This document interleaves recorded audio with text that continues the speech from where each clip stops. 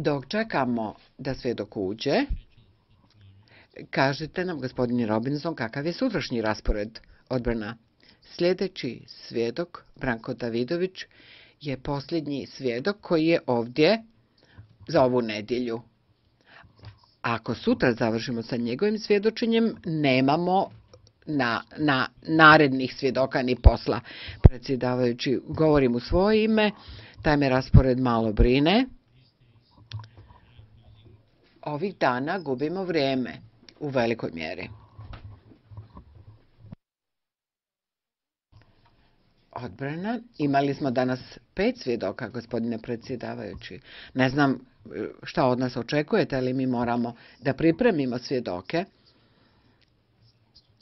Radimo takvim tempom, nekad imamo nešto više vremena. Ja ne mogu dovesti više svjedoka. Ove nedelje smo ih imali osam. Ne znam da možemo postići više od osam svjedoka u jednoj nedelji i pripremiti ih. Mislim da nemamo neku drugu alternativu, osim ako nam ne date nešto više vremena. Bear with me a minute. Predsjedavajući, samo malo strpljenja, molim vas.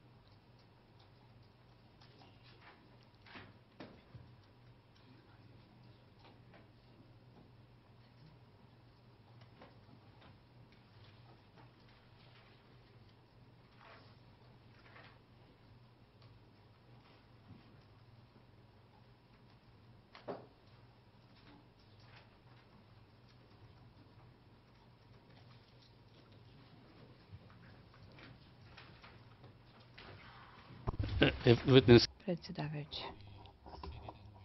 Molim da svjedok sjedne i da sačeka trenutak. Izvolite sjesti. Ima neki pitanja kojima se moramo pozabaviti. Kakav je raspored za sljedeću sedmicu, gospodine Robinson? Gospod Robinson, da, gospodine predsjedavajući, imamo pet svjedoka predviđenih za iduću sedmicu kao i generala Mladića.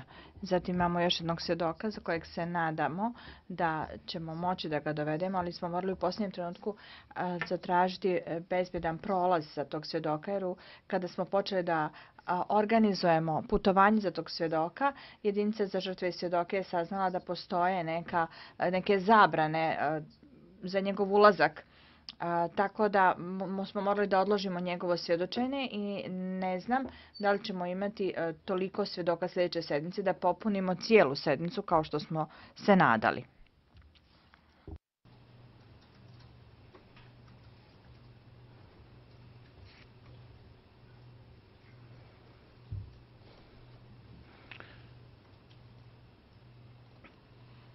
I'll leave it at that at, for the moment, but Neka ostane na tome za sada. Ali u međuvremenu bih želio da se potrudite da u buduće više ne gubite vrijeme. Molim da se dok da svečanu izjavu. Optuženi, mogu li ja nešto reći?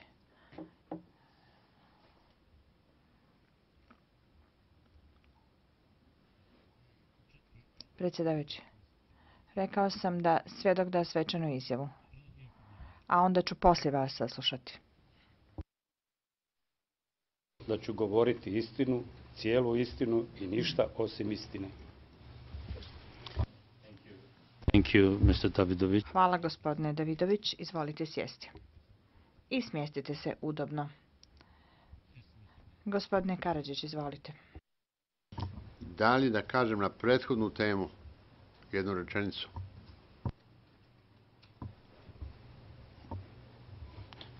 Yes. Da?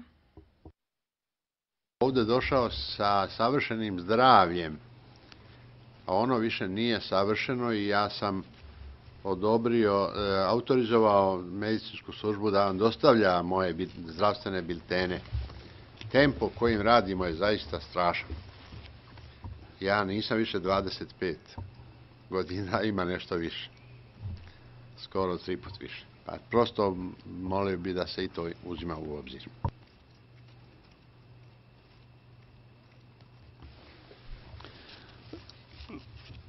With respect to the topic, I, U vezi sa temom o kojoj smo upravo govorili, da li vi imate bilo kakvih zapažanja, gospodine Tigar? Mislim na raspored. Tužilac, ne želim da sada dodajem svoje zapažanja, gospodine predsjedavajući, ali imam, iako imam dojam u, iz svojih kontakata sa gospodinom Robinsonom, da sam imao ta, utisak da on i njegov e, tim a, se ne trude najviše, ja bi skrenuo što mogu, ja bi skrenuo pažnju vijeća na to. Iako se mi možda ne slažemo uvijek u svemu, ali kad je riječ o efikasnosti i pouzdanosti i svega što e, se radi, ne bih nikada sugerisao da da kada gospodin Robinson kaže da se njegov tim zaista trudi najviše što može, nikada ne bi ni pomislio da je rekao bilo šta uh, što bi bilo suprotno onome što zaista jeste. Ja mogu da ponudim neke sugestije u vezi sa efikasnošću. Ja sam vidio da pretresno vijeće postiče da se uh, preduzmu dodatne mjere.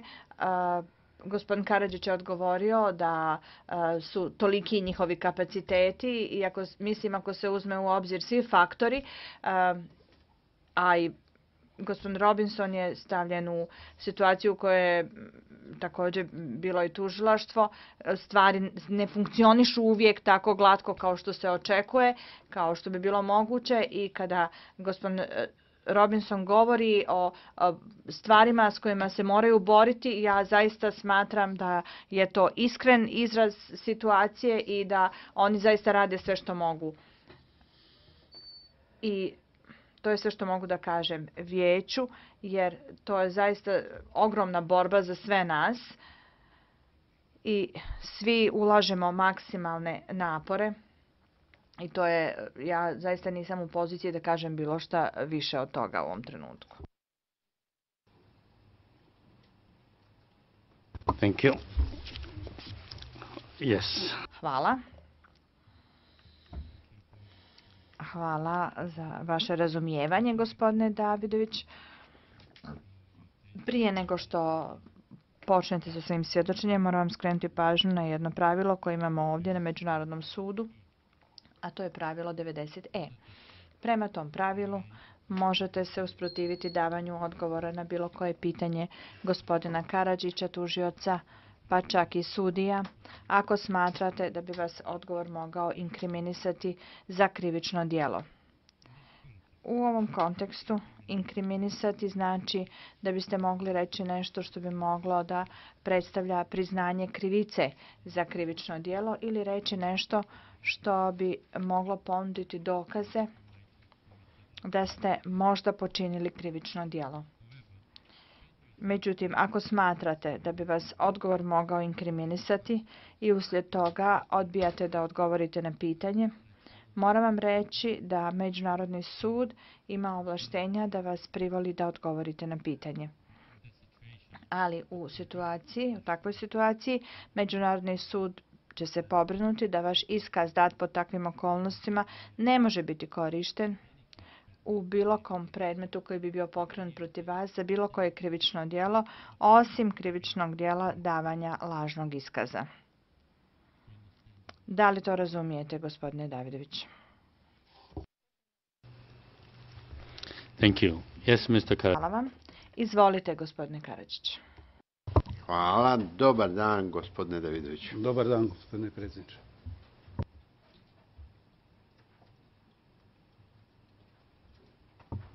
Molim vas da naše rečenice izgovaramo lagano i sporo da bi ušle u zapisnik, a da između vaših i mojih i vaših replika pravimo dovoljne pauze dok ovaj kursor sa prevodom se ne zaustavi.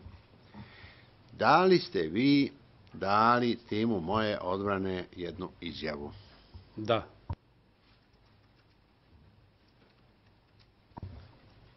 Hvala. Molim da se svedoku pokaže u elektronskoj sudnici 1D 9665.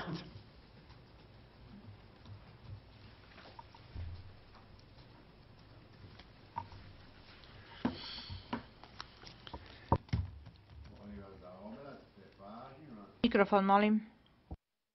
Obratite pažnju na levom delu ekrana je srpska verzija. Da li pred sobom vidite prvu stranicu te svoje izjave?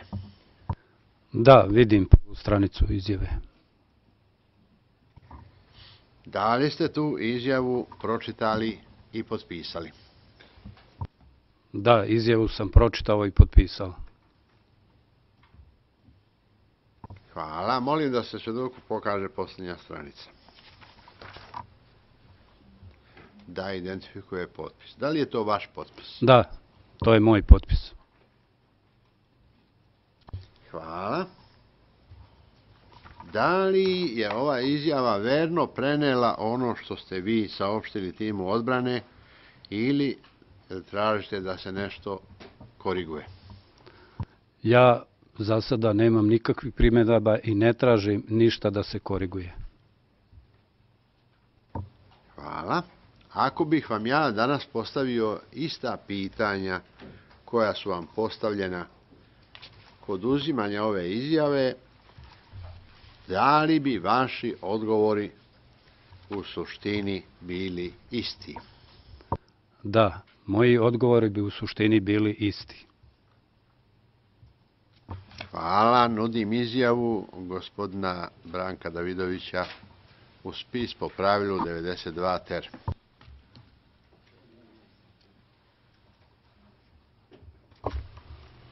You have any objection? Predsjedavajući, da li imate prigovora, gospođa McKenna? Gospođa McKenna, nemam prigovora, časni sude. Predsjedavajući, u redu, uvodi se u spis. Sekretar, to će biti dokaz D4233. Gospodine Robinson, e, imamo jedan popratni dokaz. Predsjedavajući, da. 1D 9602. Ne, ne protivite se uvođenju ovog dokaza. Gospođa McKenna, mislim da je taj dokument već uveden kao dokaz P3663. Predsjedavajući, hvala. Please check it, Mr. Robinson. Vas provjerite to, gospodine Robinson, i recite nam ako to nije slučaj. Izvolite, nastavite, gospodine Karadžić. Ja ću sada pročitati na engleskom jeziku kratak sažetak izjave gospodina Branka Davidovića. Branko Davidović Branko Davidović se odazvao na mobilizaciju koju je izvršila šesta krajiška laka pješadijska brigada 1992. godine i raspoređen je na položaj komandanta bataljona, uskoro nakon toga pomoćnika komandanta za moral na nivou brigade.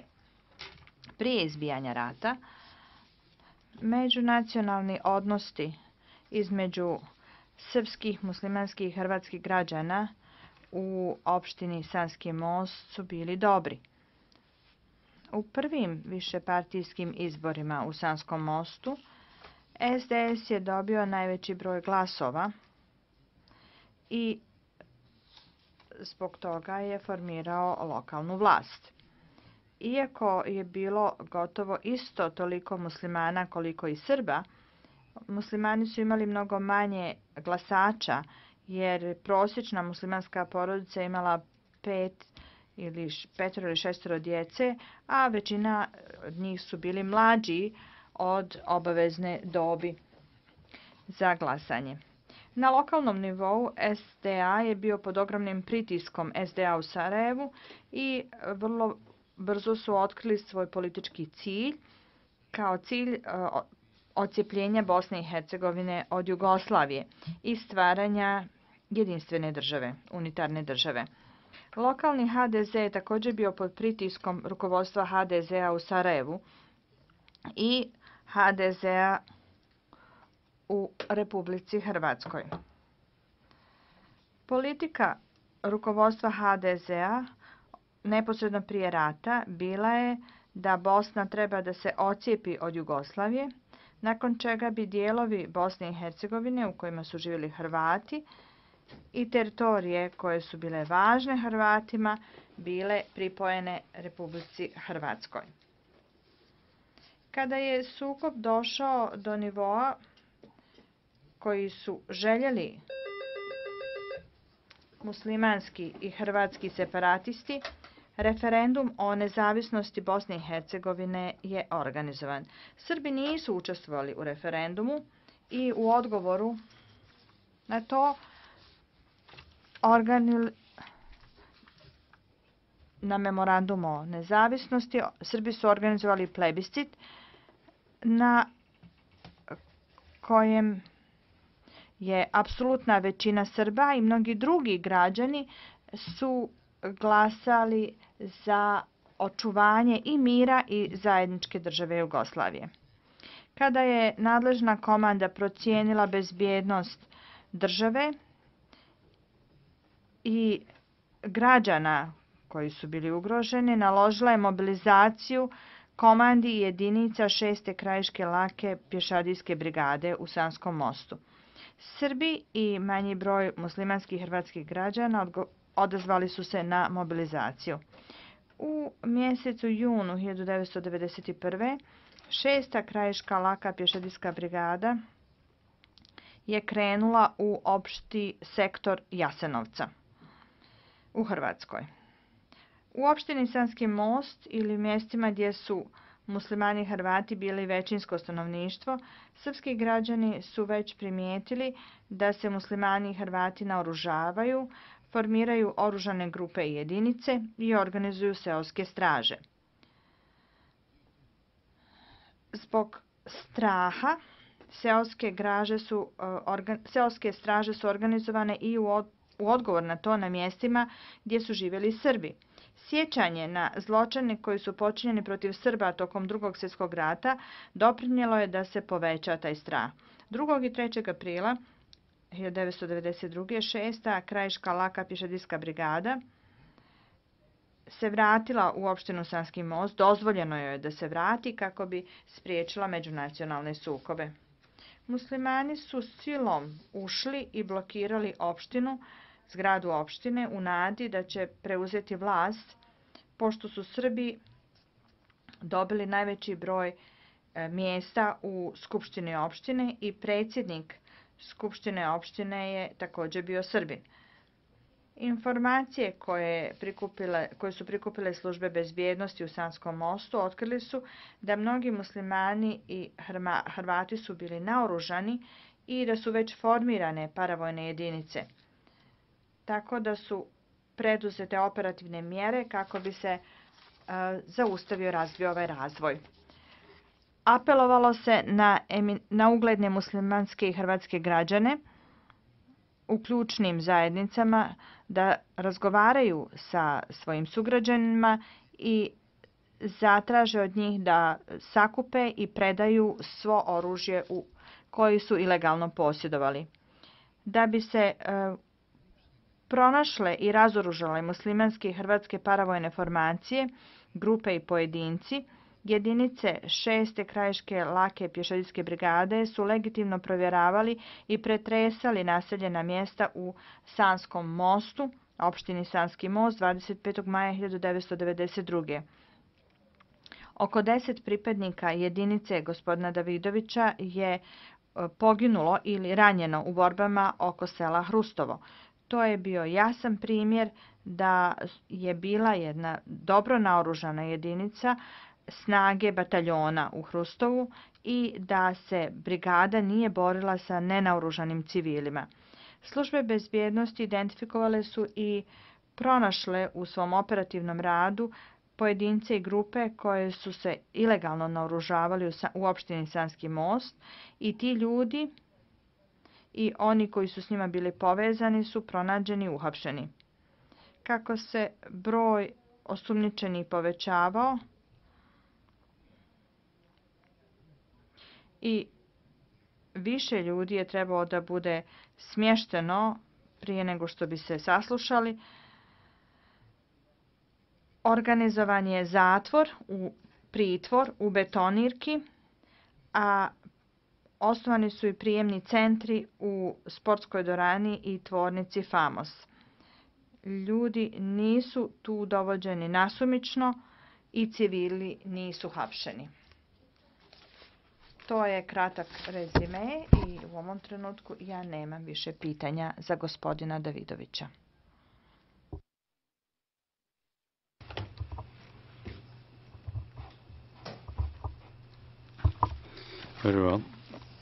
U redu. Gospodine Davidović, kao što ste primijetili, vaš glavni iskaz ovom predmetu je uveden u pisanom obliku, dakle putem vaše pisane izjave, umjesto vašeg usmenog svjedočenja. Sada će vas unakasno ispitivati predstavnik tužilaštva. Ms. McKenna, do you like to start? Gospođo McKenna, da li želite da počnete danas ili, ili da to uradite sutra? Gospođo McKenna, potpuno se prepuštam vašoj odluci. Uradit ću kako god vi kažete. Predsjedavajući, onda počnete.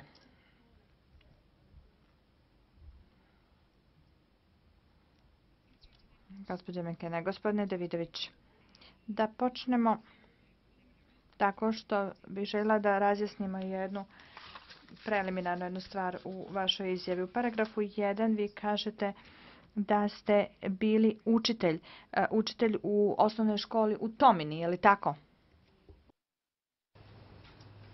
Ja sam bio nastavnik, ali u školi u Donjem Kamengradu i u školi Narodni front u Sanskom mostu.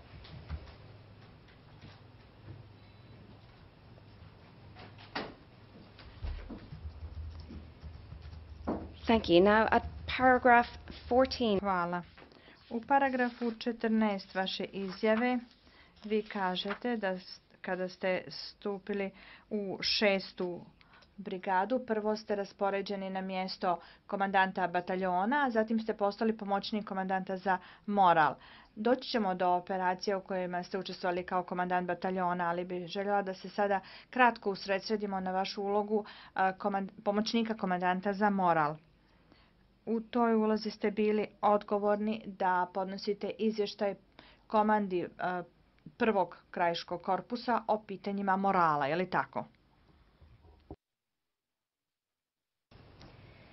And on the basis of these reports, the first... temelju tih izvještaja komanda prvog krajiškog korpusa je podnosila izvještaje glavnom štabu VRS-a o stanju e, morala u opštini Sanski most, borbenog morala, je li tako? Da jeste, to je linija komandovanja, tako bi trebalo da bude.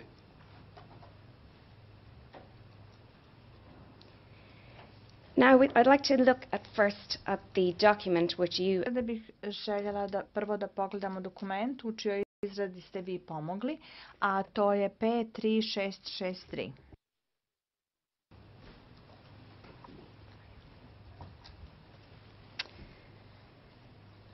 And um, I'd like to focus on the English. Željela bih da se u verziji na engleskom usredsredimo na stranicu 4, u verziji na BHS u stranicu 5 ovog dokumenta. Gospodine Davidović, ovo je dio dokumenta u kojem, o kojem govorite u paragrafu 16 e, vaše izjave, da je situacija jasno izložena. Da pogledamo dno stranice u verziji na engleskom kažete da je muslimansko rukovodstvo u opštini Sanski most. U dokumentu se kaže, dokument je pokazao da su imali namjeru da izvrše genocid nad srpskim narodom, iste pobiju i protjeraju, a na ovim prostorima stvore muslimansku državu. Sve ugledne Srbe njihove porodice pobiti i povješati u parku u Sanskom mostu, napraviti javne kuće od srpskih djevojaka i žena gdje bi se rađali novi muđahedini i janjičari, uspostaviti šerijetske zakone i vladanje kao u Iranu, izvršiti sunečenje muške arapske muške srpske djece i istu vaspitavati po islamskim zakonima i načelima. To je vrsta informacija koju ste vi kao pomoćnik komandanta za moral e, dostavljali u vašoj vojsci, je li tako? Ove informacije o kojima vi sad govorite, to su prikupljali službe javne bezbednosti i službe i bezbednosti iz jedinice. Prema tome, na osnovu njihovih izveštaja koje su oni dostavljali nadležnim organima, onda se je došlo do ovih činjenica o koje ste vi sad pročitali.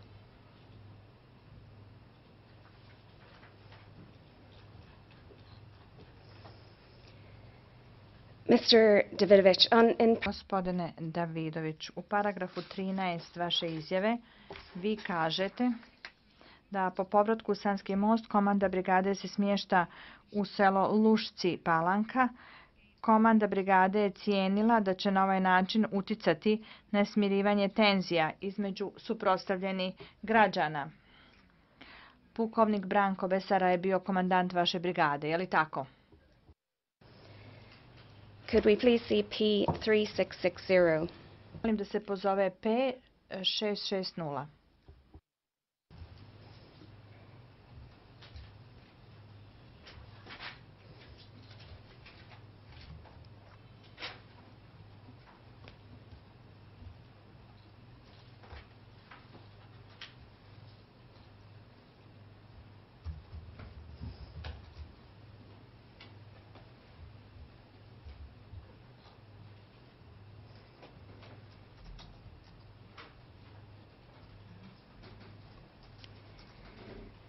Mr. Davidović, this is the... Gospodine Davidović, ovo je ratni dnevnik šeste brigade koji je napisao pukovnik Basara. Molim da pogledamo stranicu 2 u verziji na engleskom i 3 u verziji na BHS-u.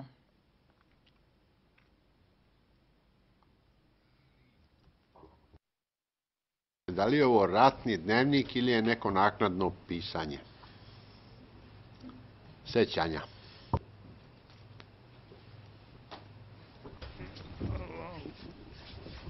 We dealt with this issue. Ovim smo se pitanjem već bavili, vi ste to vjerovatno pokrenuli i ovo je već uvedeno u spis.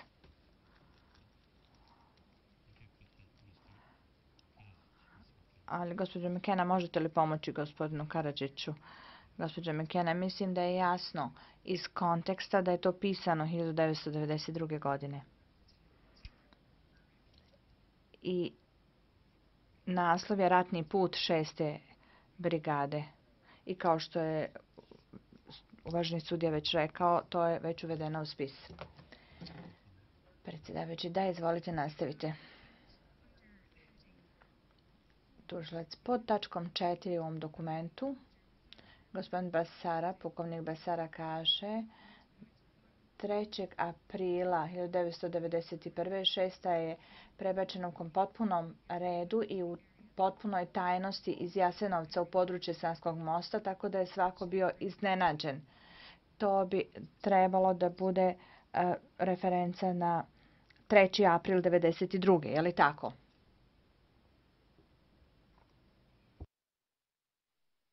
na 4. april 1992. sa reona Jasenovac na područje opštine Sanski most, odnosno Lušci Palanka. To je e, mjesto koje je udaljeno od Sanskog mosta 25 km i gdje je uglavnom srpsko stanovništvo. A došlo se u to... Mr. Davidović, I'm going to interrupt you. Gospodine Davidović, preknuću vas. Molim vas da samo slušate pažljivo moja pitanja i odgovarate na njih što je moguće konciznije. Dakle, odgovor na ovo je bio da. Ako pogledamo šta zatim kaže pukovnik Basar, on kaže dolaskom brigade na ove prostore muslimani i Hrvati su uplašeni, a Srbi su odahnuli. Dakle, to je bila realno, zar ne, da se komanda nije uspostavila u Lušci Palanci da bi smirila napetosti. Ona se tu postavila da bi uh, dala garancije srpskom stanovništvu, da bi njih umirila, a da bi uh, unijela strah u nesrpsko stanovništvo. Ja mislim da to nije tako, nego naprotiv, kad bi se brigada smještala na područje gdje ima većinsko muslimansko stanovništvo, onda bi se oni smatrali da su ugroženi i da je brigada došla da njih na neki način e, pritiska na ono što oni ne žele.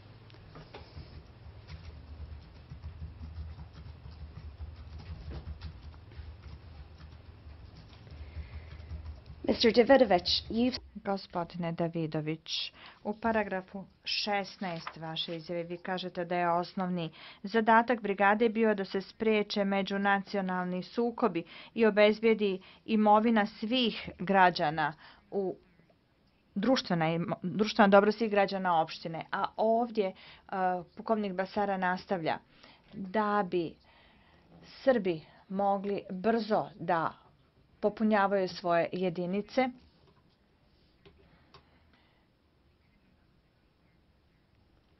Pošto je naš zadatak kao jedinice JNA bio da spriječimo sukobe između e, etničkih skupina, to jest da spriječimo klanje srpskog naroda, mi nismo mogli javno da onoružavamo Srbe.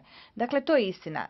Zadatak brigade nije bio da zaštiti svo stanovništvo bez obzira na nacionalnu pripadnost. Zadatak brigade je bio da zaštiti srpsko stanovništvo. U samom početku, kada, se, kada je došlo do tih previranja, brigada je stvarno imala cilj i zadatak da spriječi međunacionalne odnose. Brigada se je naoružavala iz magacina, redovnih magacina, nije nikakvih drugih magacina i prema broju pripadnika koje je prema formaciji trebala da ima. I na osnovu toga kako se dolazilo u jedinicu, dobijalo se i lično naoružanje. Dakle, ona nije naoružavala nikoga drugog, sem svoje pripadnike koji su e, bili pozvani i koji su se odazivali u, na mobilizaciju u jedinicu.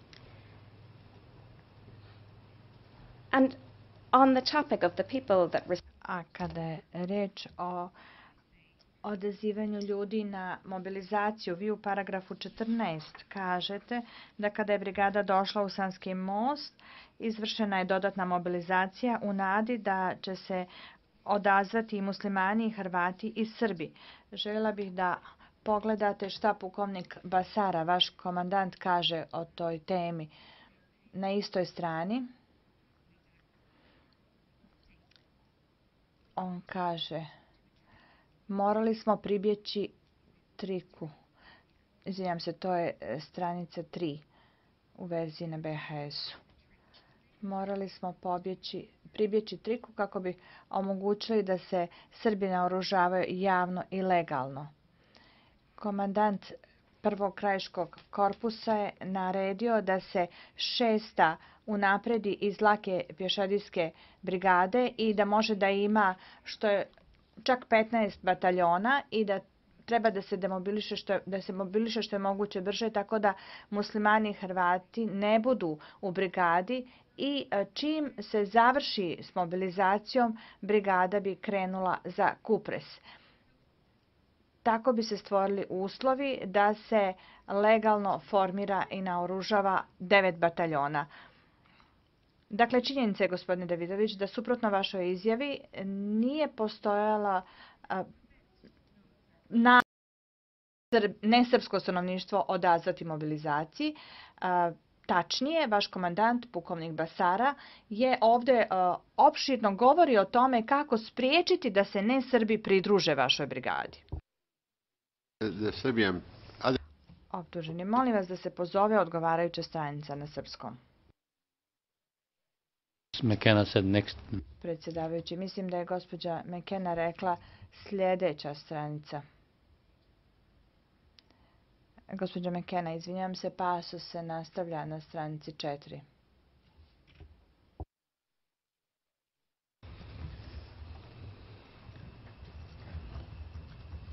Mr. Davidovich, can you answer the Gospodine Davidović, možete li odgovoriti na moje pitanje? Pitanje je bilo suprotno vašoj izjavi. Nije postojala nikakva nada da će se nesrpsko stanovništvo pridružiti vašoj brigadi. Upravo suprotno tome, komandant, vaš komandant brigade se aktivno trudio da spriječi da se muslimani i, Hrvati pri, priključe vašoj brigadi. Ovaj dokument vidim da je pisan rukom. I ne znam čiji je to dokument. I ne znam, samo znam istinu da se muslimani i Hrvati nisu odazvali na mobilizaciju sem jednog malog dijela. I bilo ih je nekoliko koji su praktično do samog kraja bili u jedinici. I bili sasvim ok, nikakvih problema nije bilo s njima. Sigurno tvrdim da se željelo da se spreči međunacionalni odnosi koliko se to moglo. Drugo, nikad nisam čuo da brigada treba da ima 19, kao- ako sam dobro razumeo vas, 19 bataljona i da ide na Kupres. Mi smo u jednom trenutku imali mobilisanih je- 11 mi- ovaj, bataljona smo imali. Nakon izvjesnog vremena, zbog starosti, zbog slabe opremljenosti, zbog mnogo drugih razloga, brigada je smanjila broj svojih pripadnika na šest bataljona.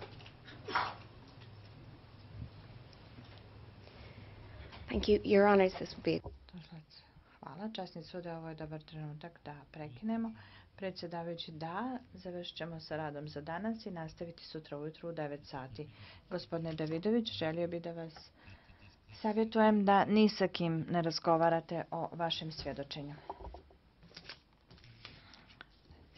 Pretres je završen. Ustanite.